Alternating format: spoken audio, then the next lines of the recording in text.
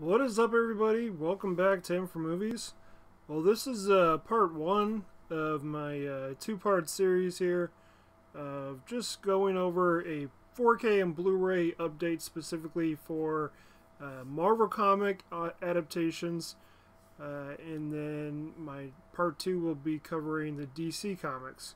Uh, so this is anything that they've released even before MCU or or post MCU and stuff like that, or kind of, yeah.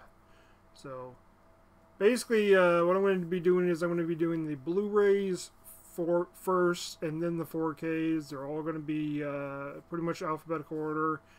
Um, and uh, I don't have any slipcovers. Uh, none of my collection is slipcovers, uh, so you're just going to have to you're just going to have to deal with that. And uh, yeah, I'm also going to include uh, a, a, a, few movie adaptations uh, from Icon Comics and Malibu Comics because those are uh, pretty much owned by Marvel Comics. So let's get started with the Blu-rays. Alright, first of all, we have a trilogy here uh, for Blade. So we have Blade 1, Blade 2, and Blade Trinity. I won't be going over any uh, uh, reviews or, or, or ratings in this video, just, just show them off. Uh, don't ask for any codes because most likely they don't exist. Alright, so Daredevil, the director's cut. I also have from 2005 Fantastic Four and Fantastic Four: Rise of the Silver Surfer. And then, of course, I'm a, I'm I'm a completist, but I'm not gonna watch this movie like all the time. But I have Fan Four Stick.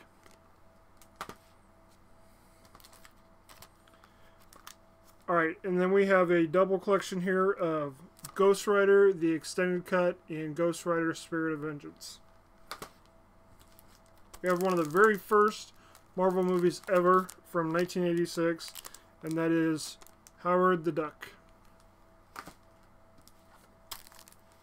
Punisher Warzone. The second of the Wolverine movies, The Wolverine. Definitely needs a 4K. And then we have X-Men Days of Future Past, The Rogue Cut. And then this one definitely needs a 4K too. I wouldn't mind buying it on 4K.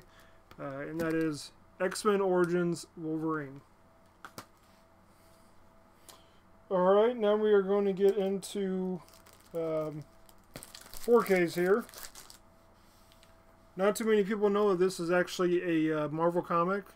Uh, mag, uh, manga uh, comic. That is Big Hero 6. We have Ang Lee's Hulk. Getting into some Spider-Man here. I have, I bought this uh, last year. This is two steelbooks uh, for the 4K edition. It includes uh, Spider-Man, Spider-Man 2, Spider-Man 3, uh, Amazing Spider-Man, and Amazing Spider-Man 2. Then we got Spider-Man Into the Spider-Verse and Venom. Alright. Now the X-Men titles here. We have the three-pack for uh, X-Men, X, X-Men 2, or X2, and X-Men The Last Stand. X-Men First Class. X-Men Days of Future Past, X-Men Apocalypse, Logan, X-Men Dark Phoenix. We also have the Best Buy exclusive steelbook for Deadpool and Deadpool 2. Alright.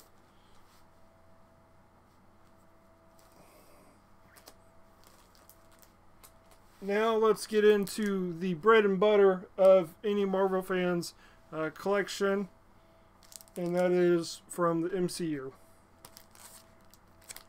Iron Man, Incredible Hulk, Iron Man 2, Captain America the First Avenger, Thor, The Avengers, Iron Man 3, Thor the Dark World, Captain America the First Avenger, Guardians of the Galaxy, The Avengers Age of Ultron,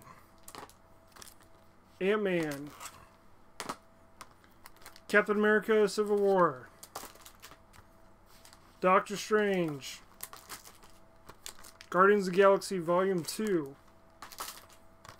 Spider Man Far From Home, the Best Buy exclusive steelbook for Thor Ragnarok, Best Buy exclusive steelbook for Black Panther, The Avengers Infinity War, Ant Man and the Wasp, Captain Marvel, Infinity or Avengers Endgame, and Spider-Man Far From Home. Alright, and then the last bundle here is going to be uh, all 4K. There's one there's one Blu-ray. Uh, so these ones here are from Icon Comics, and that is the 4K edition of Kick-Ass. Yes, Marvel does own Kick-Ass. And then the Blu-ray version of Kick-Ass 2. That definitely needs a 4K. Alright, and then we have also from Icon Comics is Kingsman. So we have Kingsman, uh, the uh, Secret Service, and Kingsman, the Golden Circle.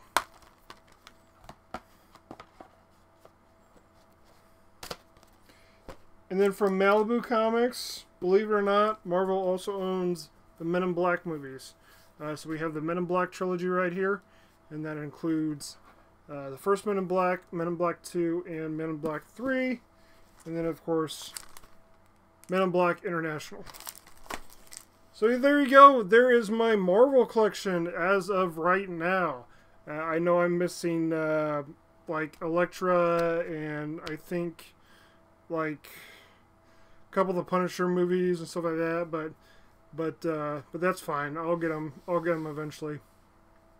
So, want to thank everybody for watching this video, and uh, go ahead and subscribe, like, and comment. Comment down below. Uh, what are some of your favorite uh, Marvel Comics adaptations? Uh, some of my favorites, just off the top of my head, um, for MCU, of course, Avengers Endgame, Avengers Infinity War, Black Panther, uh, Guardians of the Galaxy, and then I also like uh, from from some of the other ones uh, would be like X2, Spider-Man 2. Um, I think that's pretty much it. That's pretty much like the standouts for me. Um, Kick-Ass is great, uh, but that's pretty much it. So thanks for watching, everybody, and we'll see you uh, in for part two uh, for all you DC lovers. So, all right, take care, everybody. Bye bye.